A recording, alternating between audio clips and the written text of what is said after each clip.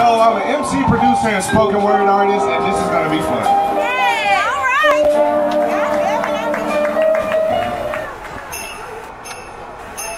Let me tell you what this life's like. Bright light, white ice, fine diamonds, you can have it all. If the price right, my dreams is getting lifelike. Word to Dr. King, if my dreams is feeling right. But a dream is just a dream when you wake up and you don't see the same thing. Bling bling out in your grill, instead you work at Burger King.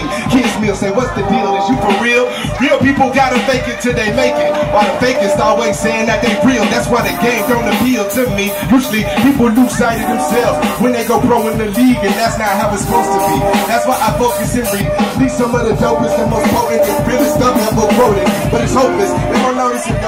On TV, if your butt ain't on the screens, while they pass up low the trees. They gon' laugh and smoke their weed while they watching BET. You wanna beat on BET, you gotta risk your decency. Damn. I just wanna blaze mics and make a couple fans. I take a swig and taste life for what it's worth, but since my birth, I've been cursed with this hurt that hurts worse than any hurt I've ever known. I'm the first to see the throne, and the last one to sit in it. This nightmare on Elm Street, I'm living it. My all is what I'm giving it, but I ain't on no simple stuff, so some people ain't hearing it.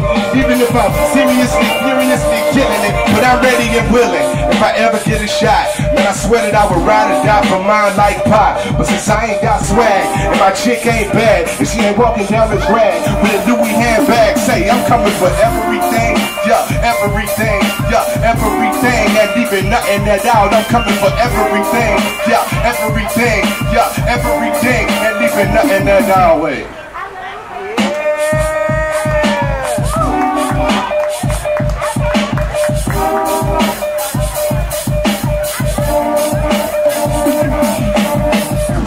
I'm like six foot two. and I'm just trying to make it work. I'm gonna have to, I'm gonna have to come down here with y'all.